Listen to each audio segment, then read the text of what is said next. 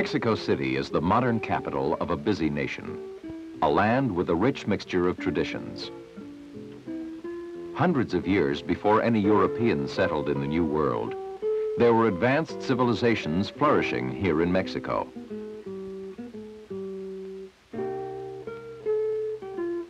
But the Spaniards who conquered the Indians in the 16th century brought a new civilization, a new religion, and new styles of art. Today, the Mexican culture is a blend of many elements, including both the Indian and Spanish traditions.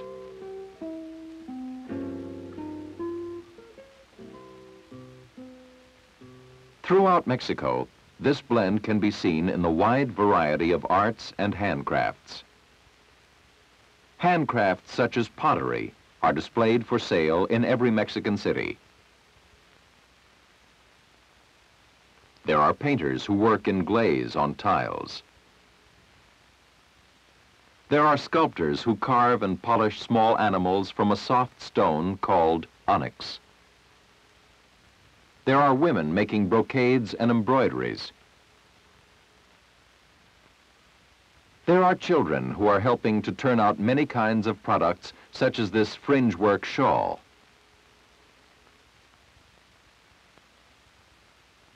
There are a tremendous number of craftsmen and artists producing an enormous variety of goods, from toys to housewares, from copies of classic statuary to replicas of ancient Indian pottery.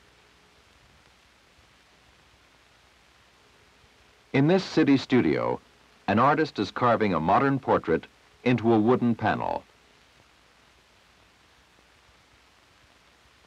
But there are also many villages throughout Mexico where artists such as this Indian woman are working in the most ancient techniques and traditions to produce equally fine results.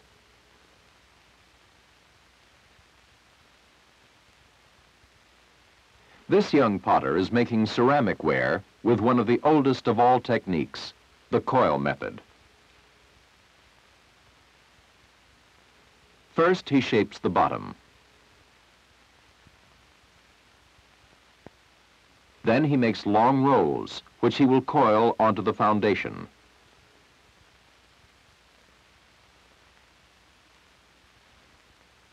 He winds each coil around the pot, and then works the new clay together with the old.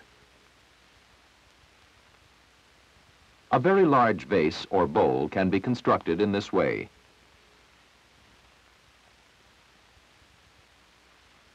When the clay has dried to a leathery hardness, it is given a final smoothing and shaping with this small tool.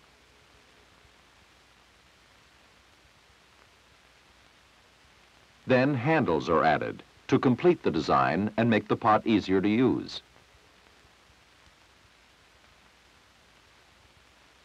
This is not simply a decorative bowl, but a piece of kitchenware which some housewife will use in preparing her meals.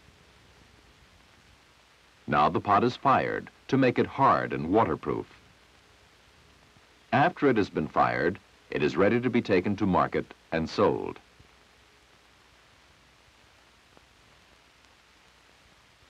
Here is another village potter preparing her clay by kneading it to make it smooth.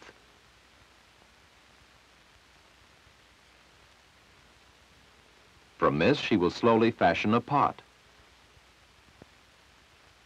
First, she shapes the clay and then pounds it into a hollow cylinder.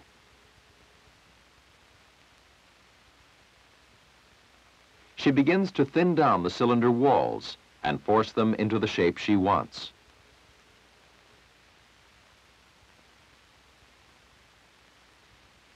With this primitive wheel, she continues to enlarge the cylinder and thin its walls.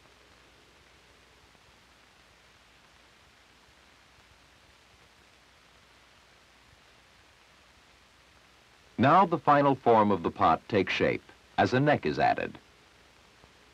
Water is used to make the neck pliable and to smooth the surface.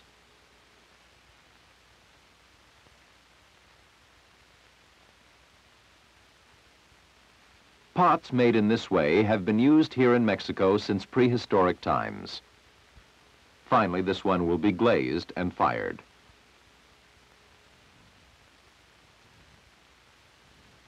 Weaving is another of the traditional household handcrafts which is still carried on in many parts of Mexico. The women of this village are using ancient backstrap looms to produce exquisitely fine fabrics.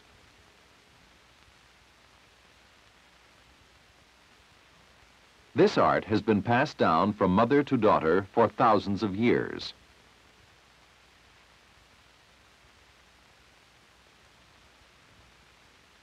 And weaving is still an important part of the economy of many villages like this one.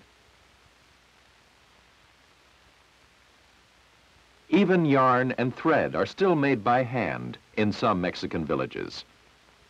The fibers are carded or straightened. Then they are twisted together to form a single strand of yarn. Spinning is also practiced in this open-air rug factory. After the yarn is spun, it is woven on an upright loom, the kind that was introduced to Mexico by the Spaniards. Many of the finest textiles in Mexico are still turned out on looms like these. These woolen rugs are good examples of the elaborate and colorful designs which are common here.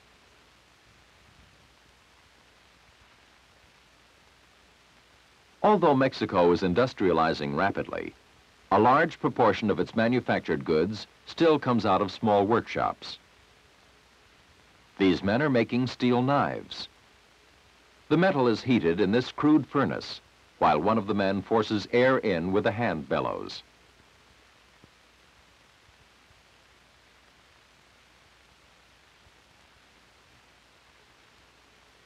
Then the steel is forged by hand. The steel must be heated and hammered and cooled many times. A great deal of Mexican handcraft is still devoted to producing utilitarian objects such as building materials. This man is making bricks in a mold. After they have been dried in the sun, they will be baked hard in a kiln. Another worker is making roof tiles. He shapes them in a form and then rounds them before setting them out to dry.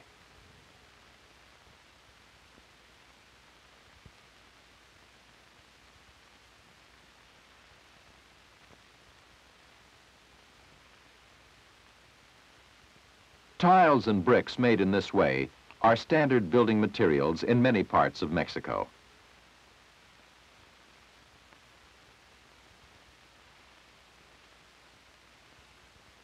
But there are also many Mexican craftsmen who produce jewelry and other luxuries. Here, small charms are being stamped out for a necklace or bracelet.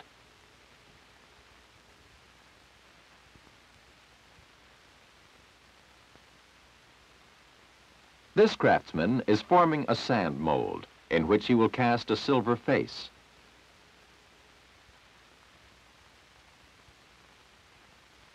The face to be cast was copied from one found in the ruins of an ancient Indian tomb.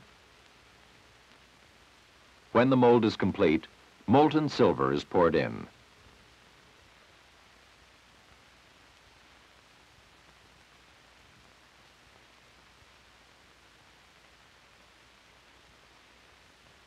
When the silver hardens, it is removed from the mold and cleaned.